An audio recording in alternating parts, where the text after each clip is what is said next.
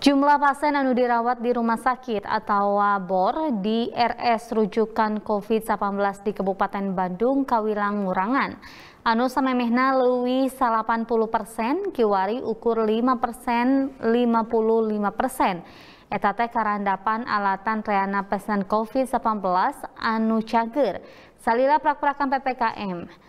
Sokomo pemerintah Kabupaten Bandung optimis PPKM bisa turun lebih jadi level 2.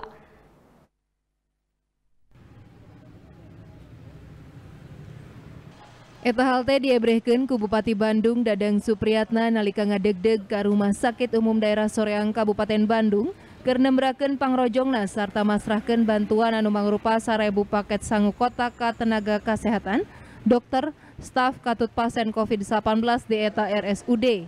Saestuna eta program bantuan sarebu sangu kotak teh mangrupa kegiatan mayeng anu dikokolakeun ku rumah sakit sarta puskesmas Kabupaten Bandung saban poena.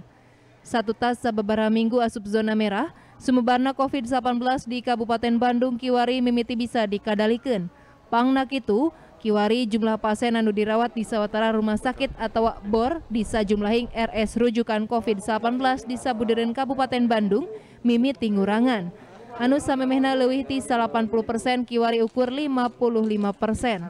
Samalah Dadang optimis satu tas prak-prakan PPKM Kabupaten Bandung anu kiwari keur memejehna dina level 4 tuyu kana lelewek aglomerasi bakal turun tepi ka level 2 sangkan kegiatan masyarakat bisa dianggangan tapi kudu salawasna ngelarapkan protokol kesehatan anu rekep nalika ngalakonan kegiatan di saluaran imah. Untuk uh, makanan, saya kira ini kan diberikan kepada titik yang rumah sakit dan puskesmas. Ini secara setiap hari rutin dilaksanakan oleh Kang Rajik. Terisian rumah sakit sudah menurun? Uh, sekarang sudah mulai BWR menurun dan di bawah 55 persen. Oh, berarti kalau tingkat levelnya masih? Level insya Allah kalau kita melihat level saat ini kelihatannya level 2 Kabupaten Bandung karena sudah mulai menurun tingkat kesembuhan juga meningkat BOR juga BOR juga menurun Kabupaten Bandung tepi kaki wari masih satekah pola ngarojong pamarentah pusir keur target vaksinasi masyarakat meh 80% dina bulan Desember 2020 hiji kucara nambahan 800-an vaksinator serta 200-an admin. Tapi eta halte kapangaruhan ku dosis vaksin ti pemerintah pusir anu tacan bisa nyumponan kabutuh pamarentah Kabupaten Bandung. Rezitia Prasaja, Bandung TV.